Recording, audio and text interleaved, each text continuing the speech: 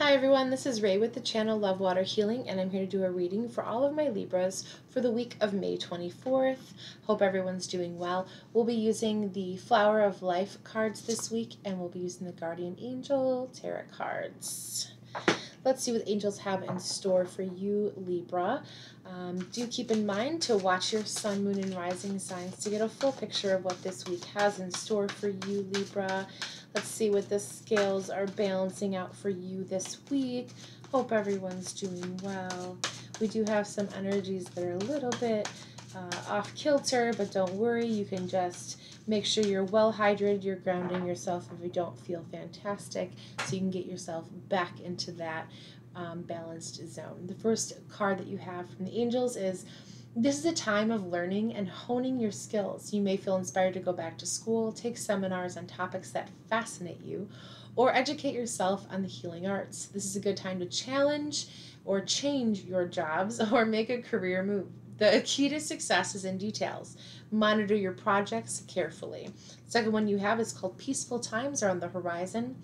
The storms have passed, and now you can see that your destination is within sight.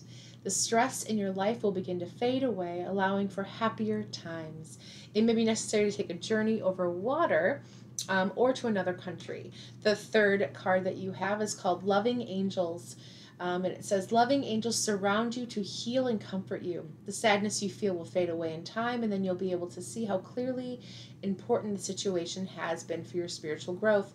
Take the time you need to forgive yourself and others so that you can embrace the future with joy. So, are you going to be looking for a new career, possibly taking some seminars, going back to school? That sounds awesome.